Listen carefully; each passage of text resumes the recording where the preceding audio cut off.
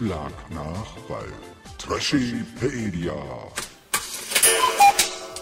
Heute Woher stammt das Wort Kreisverkehr?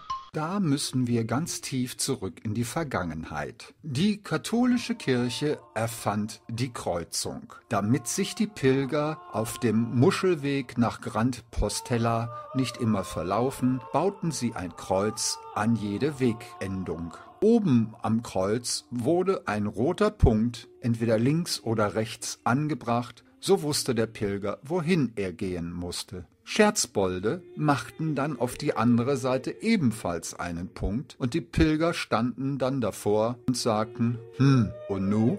Zur gleichen Zeit in London erfand King Armin der 68. den sogenannten Kreisverkehr, im Englischen Roundabout genannt. Dies hörte ein deutscher Priester, der dort gerade zur Kur war, und erzählte zu Hause von den englischen Roundabout und erzählte dies dem Baumeister. So kann der Pilger um das Kreuz herum. Der deutsche Baumeister verstand rund gebaut. So wurden die ersten Kreisverkehre unter dem Namen rund gebaut. gebaut. Dann kam der Brauch auf, wie bei Hochzeiten Reis zu werfen. Und jedes Dorf, was ein Roundabout hatte, also rund gebaut, lief durch dieses rund gebaute Ding und streute Reis. Ein ganz, ganz alter Baumeister, also ein Greis, sah dies und versprach sich und sagte anstatt Reisverkehr, schau mal,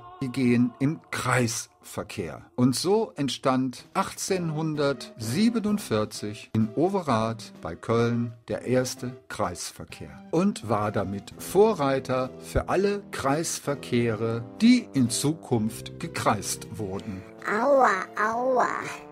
Das muss doch wehtun.